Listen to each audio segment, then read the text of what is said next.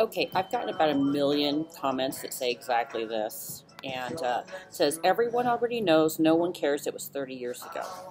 Um, the women that the Red Hot Chili Peppers have sexually assaulted at work have surely suffered economically from this. They probably left the industry for jobs where this didn't happen. They probably were discouraged from working at all and just decided to be housewives if they were harassed that severely.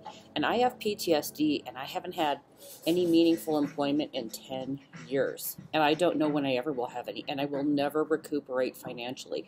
So stop saying it doesn't matter. This shit impacts people for their whole fucking life.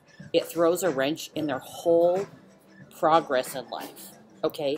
If you get a job in the wrong industry, it fucks up your whole life. You'll never really 100% recover from that misstep of being in the wrong industry, which is the music industry when these assholes were in it. So don't say it doesn't matter. These women pay every day. They are less than they could have been with their life. They had to leave whole fucking industries.